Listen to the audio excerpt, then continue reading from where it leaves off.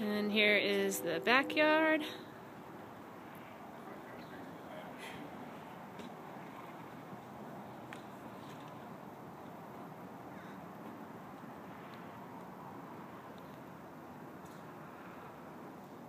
And that is just um, a house back here with looks like a shed.